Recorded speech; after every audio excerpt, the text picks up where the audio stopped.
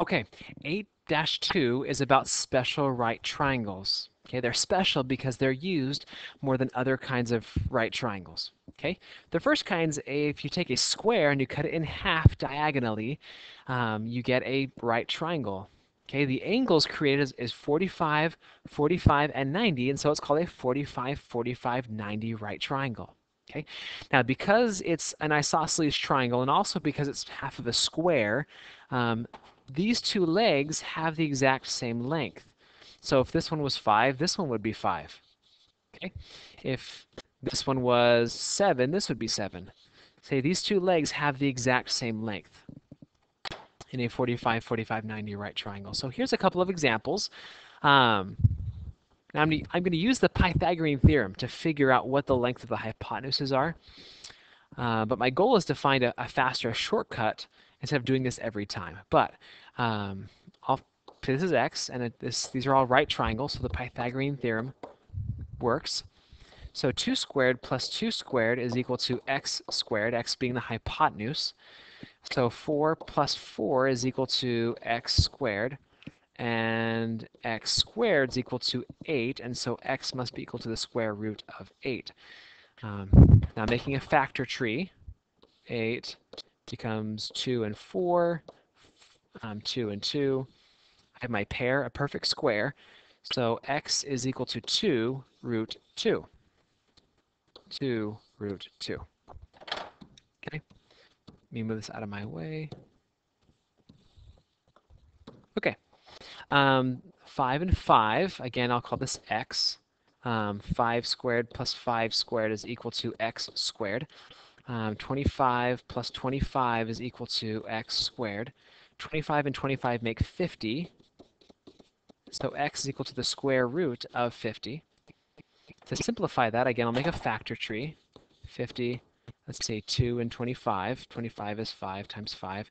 I have a perfect square. So x is equal to 5 root um, 2. 5 root 2. Now, um, if we did this last one, we would get 1 root 2. So if you'll notice, there's a pattern of if, if the leg is 2, the hypotenuse is 2 root 2. If the leg is 5, the hypotenuse is 5 root 2. If the leg is 1, it's 1 root 2. There's a pattern, and the textbook, it, textbook puts it this way. Um, in a 45, 45, 90 triangle, both legs are congruent, and the length of the hypotenuse is root 2 times the length of the leg. I think this um, equation is pretty helpful to us. Okay, an example. Um, since the leg is 7, I just saw the pattern was that this must be 7 root 2. Again, you can use the Pythagorean theorem, but that's what it's going to be. In this one, where the hypotenuse is 8, it's kind of harder to figure out what x must be. I'm going to turn to my formula of um, hypotenuse is equal to 8, I'm sorry, is equal to the square root of 2 times leg. The hypotenuse is 8. Square root of 2 times the leg is x let's see here. To get x by itself, I divide both sides by the square root of 2. Okay, so x is equal to 8 over the square root of 2. Now, unfortunately, this isn't in simplest form. So the way I simplify is multiply top and bottom by the square root of 2, which is what the denominator is. And 8 times root 2 is 8 root 2.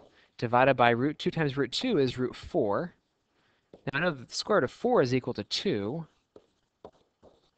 And 8 over 2 simplifies to be 4 over 1. So this is equal to 4 root 2. Okay? Now, there is a shortcut to this as well, if you remember it. In a 45, 45, 90 right triangle, um, you take the hypotenuse and divide it by 2 and get 4, this 4, times the square root of 2. Okay, so if you take half of the hypotenuse and multiply by the square root of 2, um, that will work, that'll be equal to the legs. Okay, here's a couple of examples. Now just to check your work, um, h will be equal to 9 root 2. x will be equal to 4. Um, this x will be equal to 3 root 2. And x is equal to 5 root 2. Moving on. The other kind of special right triangle is half of an equilateral triangle, which if you cut it in half, you get a 30, 60, 90 right triangle. The important thing about the side lengths here is that since we've cut it in half, this leg is half of the hypotenuse. Okay, so here's a couple of examples. If this shortest leg is 4, then the hypotenuse must be 8, since it's double. If the hypotenuse is 12, the shortest leg must be 6. And this, if the shorter leg is, is 3, the hypotenuse must be 6. Okay, again, this is a right triangle. We can use the Pythagorean theorem. 4 squared plus x squared must be equal to 8 squared. 4 squared 16 plus x squared is equal to 64. Let's see here. Solving for x, I'll subtract 16 from both sides. x squared is equal to 48, and x is equal to the square root of 48. So to simplify this, I'll use a factor tree. Let's see here. 4 times 12. 4 is 2 times 2. And 12 is 3 times 4. And 4 is 2 and 2. So I have a pair um, and a pair here, which gives me perfect squares. 2 times 2 root 3 is 4 root 3. Sorry, it's all jumbled. Um, and group some things here.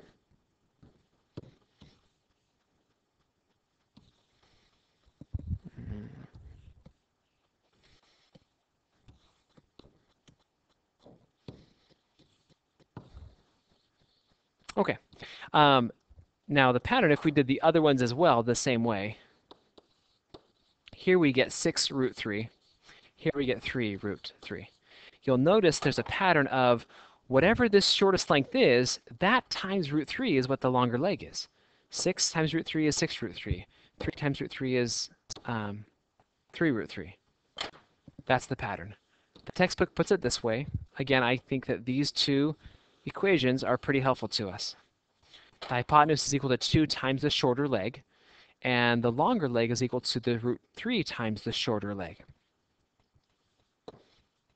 Okay, a couple of examples. That side doesn't really matter. Okay, that side doesn't really matter. So, let's see here. If the hypotenuse is 12, the shortest side must be half of that, or 6. Okay, and the longer leg is the shorter leg times root 3. So x must be equal to 6 root 3. And I'm done. In this one, the hypotenuse is 6. The shorter leg is, well, half of 6. So x must be 3. Which, by the way, this longer leg um, would be 3 root 3. All right, a couple more examples. If the hypotenuse is 40, the, the shorter leg will be half of that.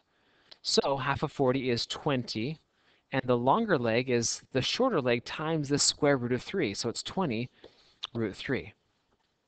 Number 2, the hypotenuse is 10. The shorter leg is half of 10, or 5.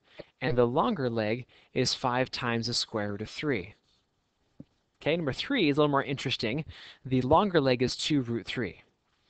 So um, y, the shortest length, times the square root of 3 is equal to 2 root 3. So y must be equal to 2. So the 2 times root 3 is 2 root 3.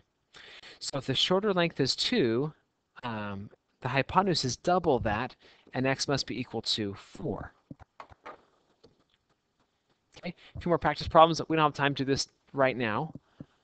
Um, okay, one last type of question I want to talk about is the side lengths of a triangle are given. Determine if the triangle is a 45, 45, 90 triangle, a 30, 60 triangle, or neither.